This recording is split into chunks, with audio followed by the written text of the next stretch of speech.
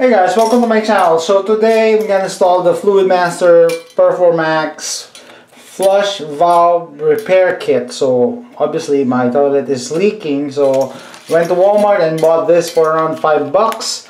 And this is my first time doing this, so I want to share with you my journey, my DIY journey in fixing my leaking toilet. So I'm I'm looking at the instructions. Like I said, I've never done this before. I don't know if I can't uh, actually I can't tell what exactly is uh, what I'm gonna do with the old one. So just put this on top. That's what I'm gonna do because of the picture. So I'm just I'm just gonna look at the picture. So just remove this, the old flapper, and then I'm guessing just gonna put this on top of the hole. Okay. So this is a what putty clay. So it will provide the seal so it will not totally replace the old flapper in terms of the position. So I'm gonna put it here sideways.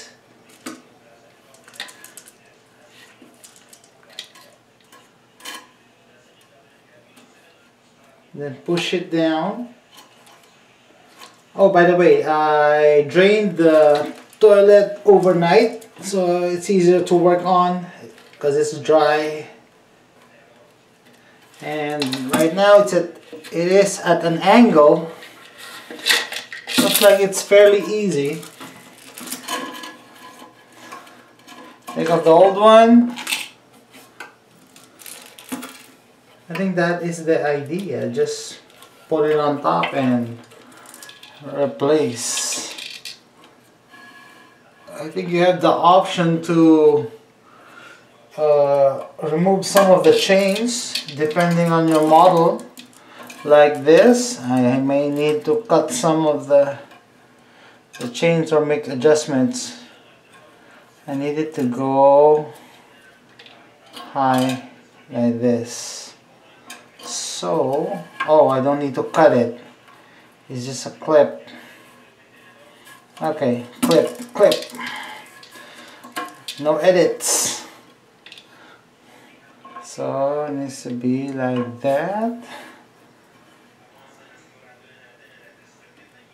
Okay. Oh it's fairly easy to do so you can do this yourself. You don't need a plumber because why? You'll save your money. Okay. Because just have to thread it in. No cutting involved. There you go okay. Okay I like it already. I like the design.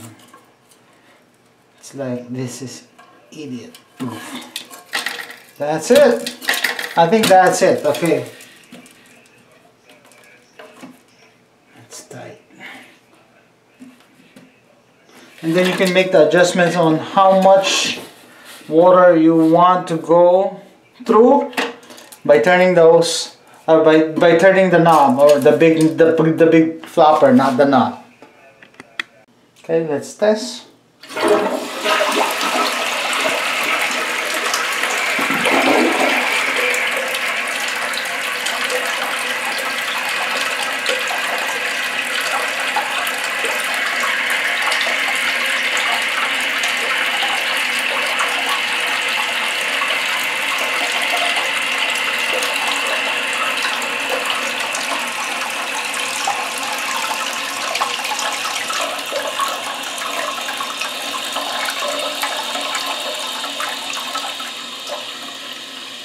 Perfect. Easy.